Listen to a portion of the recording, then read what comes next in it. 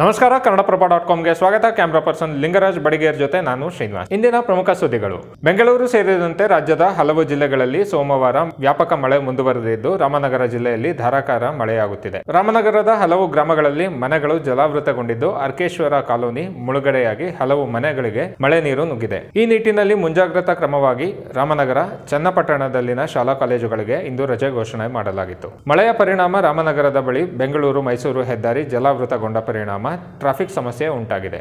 ಪರಿಸ್ಥಿತಿ ಪರಿಶೀಲಿಸಲು ಸಿಎಂ ರಾಮನಗರಕ್ಕೆ ಭೇಟಿ ನೀಡಿದ್ದು ಮಳೆಯ ಪರಿಸ್ಥಿತಿಯ ಬಗ್ಗೆ ಹದಿನಾರು ಜಿಲ್ಲೆಗಳಲ್ಲಿ ಅಧಿಕಾರಿಗಳಿಂದ ಮಾಹಿತಿ ಪಡೆದು ಪರಿಸ್ಥಿತಿಯನ್ನು ಸರಿಪಡಿಸಲು ಸೂಚಿಸಿದ್ದೇನೆ. ಮಳೆಯಿಂದ ಹಾನಿಯಾದ ಮನೆಗಳಿಗೆ ತಕ್ಷಣ ಹತ್ತು ಸಾವಿರ ರೂಪಾಯಿ ಪರಿಹಾರ ನೀಡುವಂತೆ ಸೂಚಿಸಲಾಗಿದೆ. ನೆಲಕ್ಕೆ ಉರುಳಿರುವ ವಿದ್ಯುತ್ ಕಂಬಗಳನ್ನು ಇಪ್ಪತ್ನಾಲ್ಕು ಗಂಟೆಗಳಲ್ಲಿ ದುರಸ್ತಿಗೊಳಿಸುವಂತೆ ಬೆಸ್ಕಾಂಗೆ ಸೂಚನೆ ನೀಡಲಾಗಿದೆ ಎಂದು ಸಿಎಂ ತಿಳಿಸಿದ್ದಾರೆ. ರಾಮನಗರ ಜಿಲ್ಲೆಯಲ್ಲಿ ಮಳೆಯ ಆರ್ಭಟಕ್ಕೆ ಆಲದ ಮರ ಉರುಳಿ, ತೊರೆದೊಡ್ಡಿ ಗ್ರಾಮದ ಬೋರೇಗೌಡ ಎಂಬ ವ್ಯಕ್ತಿ ಸಾವನ್ನಪ್ಪಿದ್ದಾರೆ.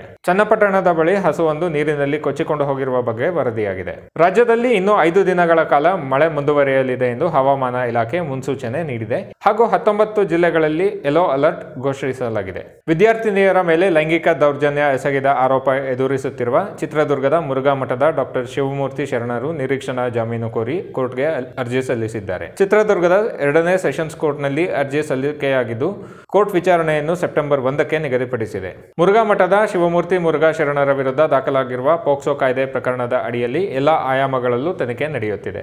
ಈ ಪ್ರಕರಣಕ್ಕೆ ಸಂಬಂಧಿಸಿದಂತೆ ಯಾರಿಂದಲೂ ಒತ್ತಡ ಬಂದಿಲ್ಲ ಎಂದು ಅಪರಾಧ ಮತ್ತು ಕಾನೂನು ಸುವ್ಯವಸ್ಥೆ ಎಡಿಜಿಪಿ ಅಲೋಕ್ ಕುಮಾರ್ ಹೇಳಿದ್ದಾರೆ. ನನ್ನ ವಿರುದ್ಧ ಮುರುಘಾ ಮಠದ ಒಳಗೆ ನಡೆಯುತ್ತಿದ್ದ ಪಿತೂರಿ ಈಗ ಹೊರಗೆ ನಡೆಯುತ್ತಿದೆ ಎಂದು ಡಾಕ್ಟರ್ ಶಿವಮೂರ್ತಿ ಶರಣರು ತಮ್ಮ ವಿರುದ್ಧದ ಆರೋಪಕ್ಕೆ ಪ್ರತಿಕ್ರಿಯೆ ನೀಡಿದ್ದಾರೆ. ಆಗಸ್ಟ್ ಮೂವತ್ತೊಂದರಂದು ಗಣೇಶ ಚತುರ್ಥಿಯ ಸಂದರ್ಭದಲ್ಲಿ ಬೆಂಗಳೂರಿನಲ್ಲಿ ಪ್ರಾಣಿ ವಧೆ ಮತ್ತು ಮಾಂಸ ಮಾರಾಟವನ್ನು ಬಿಬಿಎಂಪಿ ನಿಷೇಧಿಸಿದೆ. ಬಿಬಿಎಂಪಿ ವ್ಯಾಪ್ತಿಯ ಎಲ್ಲ ಪ್ರದೇಶಗಳಿಗೂ ಈ ನಿಷೇಧ ಅನ್ವಯವಾಗಲಿದೆ ಎಂದು ಪಾಲಿಕೆ ಹೇಳಿದೆ. ಕರ್ನಾಟಕದಲ್ಲಿ ಹಿಜಾಬ್ ವಿವಾದದ ಕುರಿತ ವಿಚಾರಣೆಯನ್ನು ಸುಪ್ರೀಂ ಕೋರ್ಟ್ ಸೆಪ್ಟೆಂಬರ್ ಐದಕ್ಕೆ ಮುಂದೂಡಿದೆ. ಹೆಚ್ಚಿನ ವಿವರಣೆ ಕೇಳಿ ಸರ್ಕಾರಕ್ಕೆ ನೋಟಿಸ್ ಜಾರಿ ಮಾಡಿದೆ. ಇವು ಇಂದಿನ ಪ್ರಮುಖ ಸುದ್ದಿಗಳು.